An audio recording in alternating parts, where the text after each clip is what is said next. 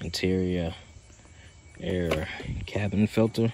What I'm gonna do is open up our door here, take all our stuff out, separate, place it on the floor, seats, everything. And that's a nice thick piece of glass. I'm wondering if it's if this windshield's been replaced. Anyway, go ahead and get started. Filter is stored right here. So what you want to do is pull up this puppy here.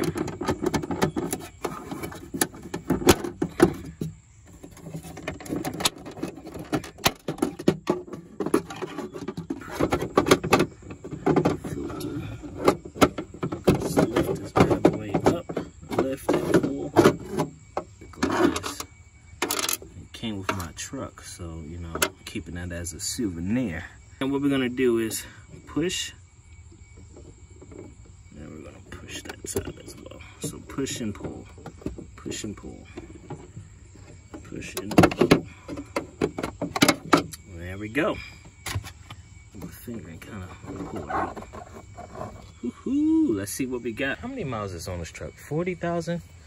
40,000 miles? I honestly believe that this is the original.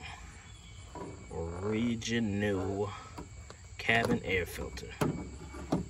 Let's take her out. Let's take her out and see how delicious she looks.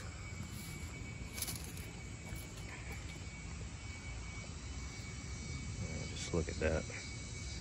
That's absolutely delicious. You see the sides? See how white the sides are in comparison to this? Dude, that is delicious. All right, let's go grab our new cabin air filter out the box.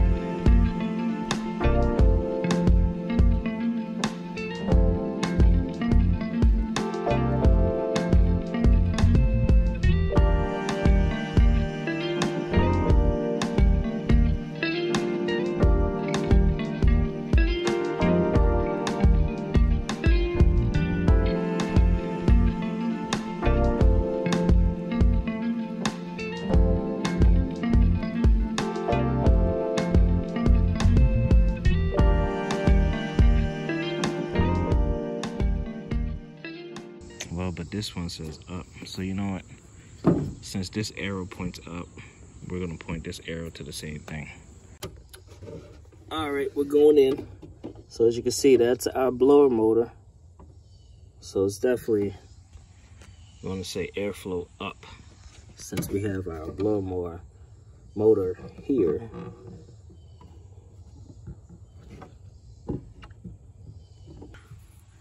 You follow by the arrow, which the arrow is pointing up, which my old one, uh, the arrow was also pointing up. So that is correct. Just ignore the little type upside down typo if yours has the same thing. Uh, this should be ideally flipped over, but you know, it is what it is. Up arrow, it's the way that we install this bad boy. So we're gonna go ahead and push this bad boy back in here. It's pretty much flushed. And we're gonna go ahead and take our tray. And as you can see, even the tray stayed up. So that is 100% correct. So we're gonna go ahead and push evenly, side by side. And she's in there.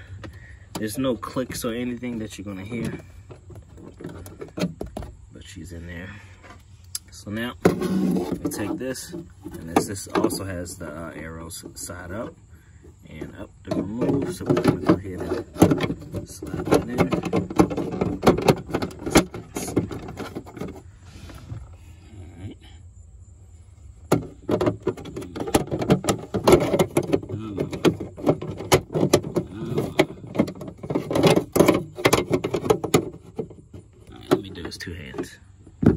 All right, I'm back. So my issue was that I was pushing too hard. Um, now we got them inside. All right. So now let's put our tray back on, and again hooks on to each side. get In there, and get these stuff. on there. And there go. Air filter, cabin air filter, correction, is clean. She's clean. Now we can put everything back. And we're good to go.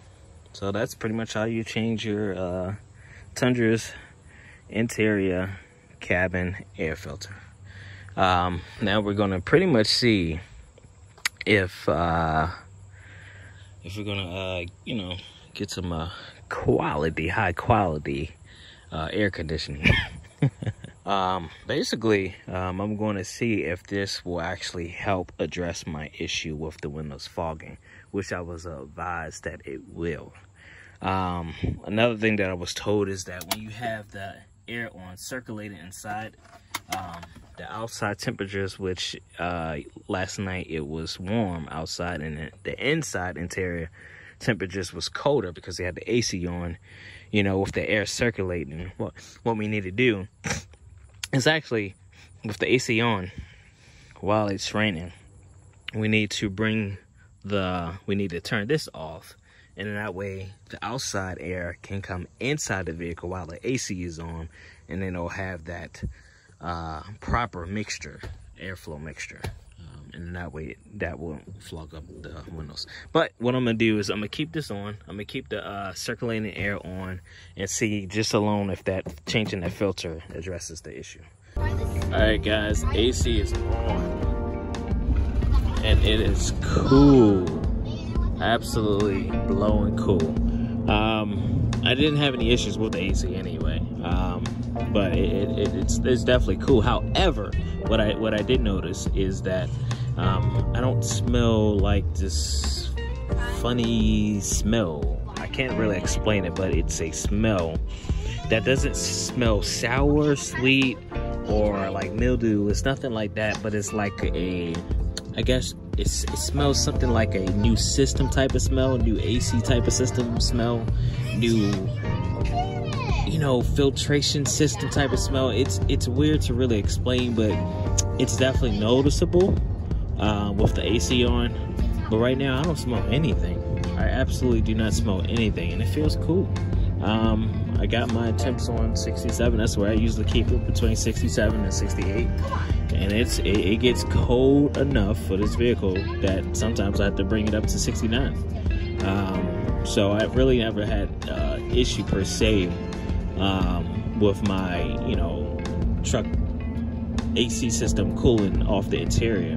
Uh, unless it was like 99 degrees, then it took took some time. So you know, but you know, right now we're looking at 88 um, degrees outside. So and it's raining. So I highly recommend, guys, that you clean your cabin air filter, which is located in your glove box. You can save you a lot of money, a lot of money. You know, here my kids back there, they already enjoying it, the fresh air.